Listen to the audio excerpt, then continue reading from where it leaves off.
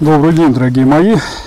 У нас хорошая погода, нет ветра, и можно поговорить с вами и поработать. Мне нужно здесь одну канавку подочистить, поэтому я ее буду очищать, а вы слушайте соловья и послушайте одну мою беседу. Сейчас мы с вами поговорим о жестах. Я там рассказал в одном ролике о том, что сейчас очень большая проблема с цифровой системой обучения в том, что она не передает невербальное общение. То есть вот то, что имеет ученик от учителя во время урока в виде жестов, интонаций, вот, даже запахов, которые идут от ученика и учительницы или учителя. Это все имеет значение. И одна из жительниц приюта меня спрашивает, расскажите об этом немножечко подробнее. Я могу рассказать, потому что в какой-то степени этим знаком с этими знаниями. И впервые я с ними познакомился в школе Стабинша в Риге. Это был 90-й примерно год, когда я решил, что надо повысить свою квалификацию и нашел такую школу. Школа давала курс психологии управления производством, и в нее входило рассмотрение разных форм влияния человека на других. И туда входили и системы того же Карнеги, который объяснял, как стать для всех окружающих уважаемых, вот, и как уважаемым, и как влиять на людей. Ну и другие системы, в которые входили и системы жестов. Причем эта школа Стабинша, ее специалисты или этот Стабинш, он был преподавателем, например, у Михаила Сергеевича Горбачева в его риторике и владением жестом. Жесты, конечно, всю историю человечества играют огромную роль. То есть, если мы с вами посмотрим на египетские фрески, то увидим, что там половина информации передается жестами. И мы с вами тоже этими жестами и владеем некоторыми, которые определяют и нашу опытность с кем-то, определяют нашу философию. И даже, я вам скажу так, многие жесты национальные, они определяют принадлежность к национальности, и уж не говоря о том, что группа людей могут иметь различные жесты, которые рассказывают нам о том, какой из этих групп эти люди относятся. Так вот, дорогие мои, что надо при этом сказать?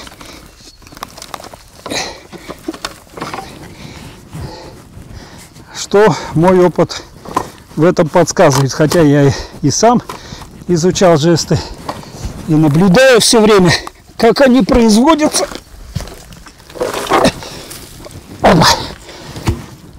И даже имею от вас иногда правильные замечания, за которыми не слежу от людей, владеющими жестами, значит, мимикой, э, языком жестов.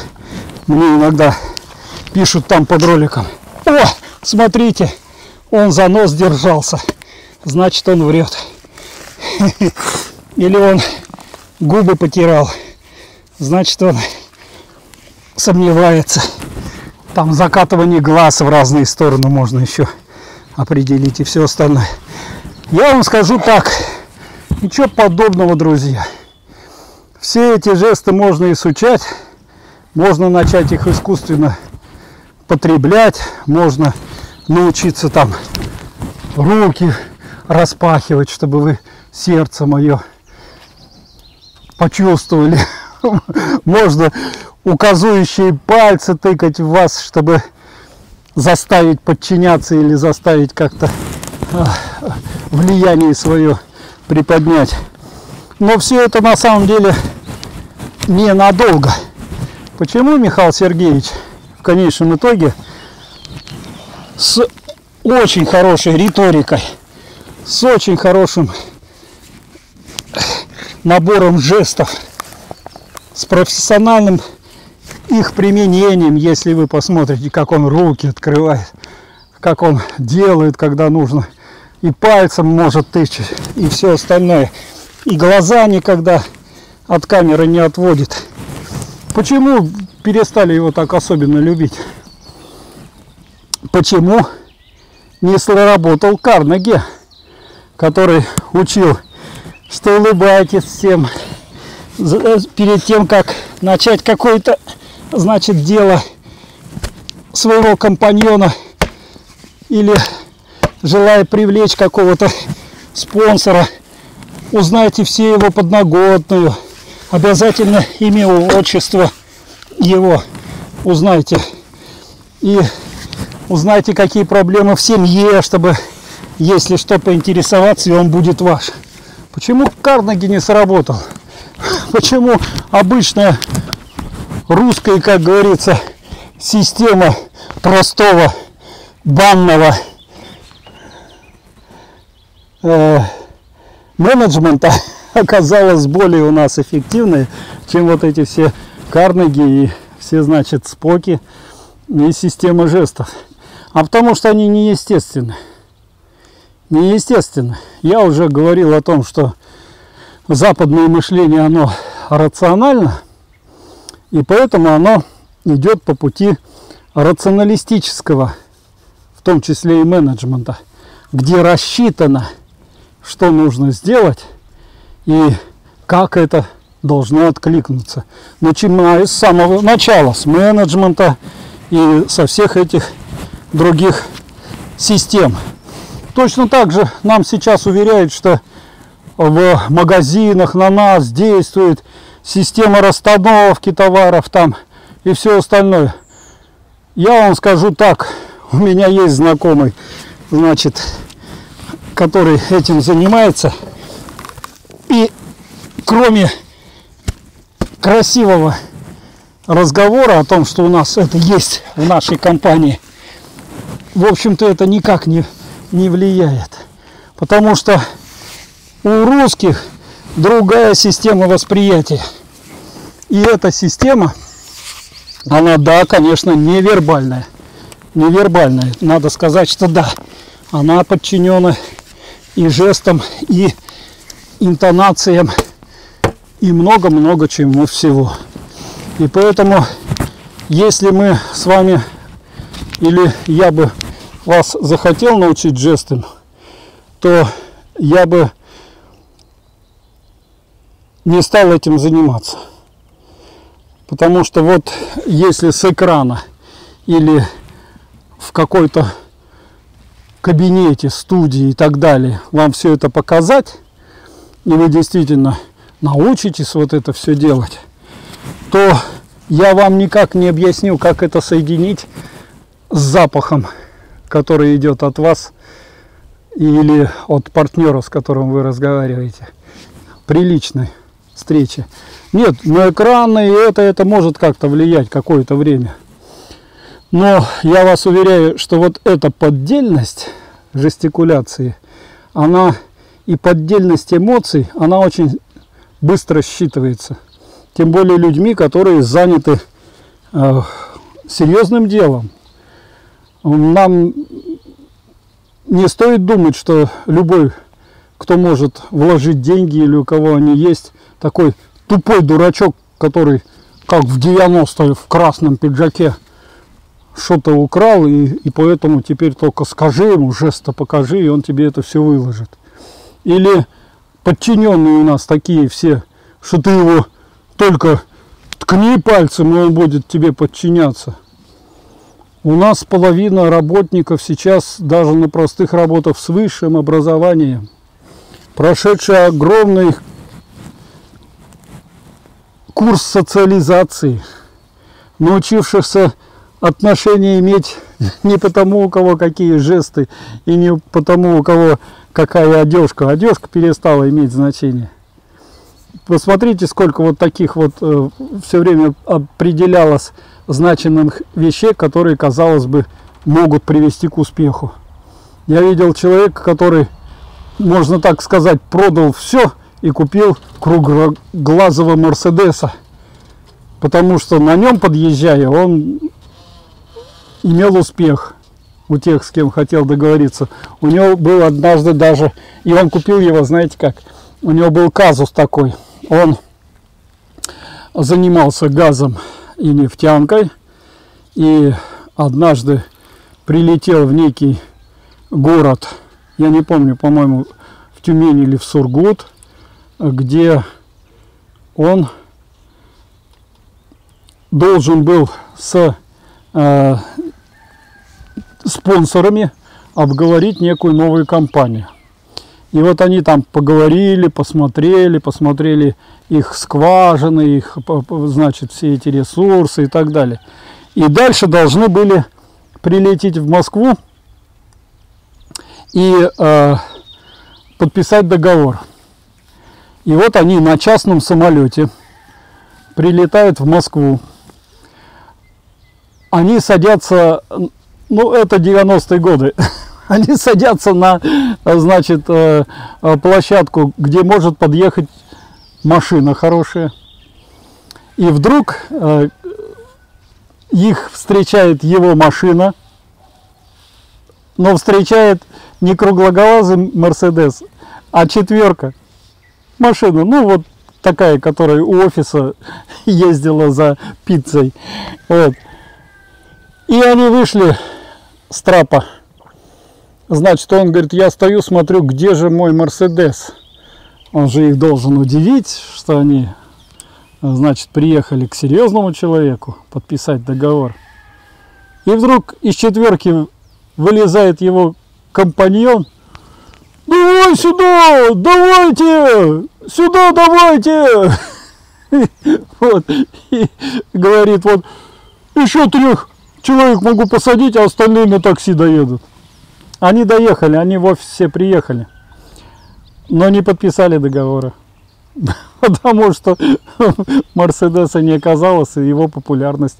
С тех пор он очень интересную такую имел систему определения, с кем же иметь отношения. Он приглашал, а поскольку занимался все-таки северными людьми, он приглашал этих людей с севера, приглашал этих людей значит, с нефтянки и в Москве вел в самый дорогой ресторан. И говорил ему, этому человеку, заказывай все, что хочешь. Этот человек, естественно, в Москве, видя, что тут подается и что это можно заказать, заказывал. Иногда эта посиделка стоила тысячу, а то и больше долларов. Вот, ну как-то в долларах все тогда объяснялись. И после того, как они пьяненькие выходили из этого ресторана, он не подписывал с ним договор. Он просто говорил, я говорю, а почему? Он говорит, ну если он не может моих денег в ресторане сохранить, как он их сэкономит там, где у нас будет совместное производство. Я вам хочу показать, что копаю, а у меня прямо на участке это самая голубая глина. Некоторые спрашивают, где взять голубую глину? Где ее берут? Вот она берется здесь. Чем она полезна, эта голубая глина? Это осадочный, осадочный Здесь когда-то озеро было, вот это все водой. И вот это осадочный материал этого озера, который уже ферментировался, то есть полностью переработался. И тут кроме циолитовых свойств, эта глина имеет вот такие, можно так сказать, древние э, биотические средства, которые в этой э, осадочной в голубизне имеются. Там, конечно, имеется и цинк, и медь. Медь прежде всего вот эту голубизну дает. Э, железо, ну, железо рыжесть дает некую такую в этих глинах, э, которые насобирали когда-то вот эти живые организмы, но теперь это абсолютно чистая и хорошая такая вещь. Я пока ничего не пропагандирую, я хочу вам просто сказать, что, дорогие друзья, последите за своей жестикуляцией, последите за жестикуляцией э, ближних. Могу сказать, что не стоит применять агрессивную жестикуляцию. То есть, когда вы показываете кулаком, когда вы тычете пальцем, грозите пальцем. Это все агрессивные формы жестикуляции, и они, конечно, вредят вашим отношениям. Нет, они могут влиять на того, кого вы хотите страхом воспитать. Но я вас уверяю, что на этом не делается э, жизнь. Если вы приучились ребенку трясти пальцем, то подчиненному своему или уж тем более начальнику никогда пальцем не трясите, это не, как не сработает. Естественная должна быть жестикуляция. Я не могу сказать, что она обязательно должна быть, поскольку жестикуляция все-таки добавляет слово к слову. В некоторых случаях считается, что для того, чтобы сформировать отношение к слову и все внимание сконцентрировать на нем, наоборот не жестикулируют. То есть сидят, руки недвижимы. Я такое видел у нашего президента. То есть какое-то время он воспринял ту систему, которая была у Горбачева. Вы можете раннего посмотреть.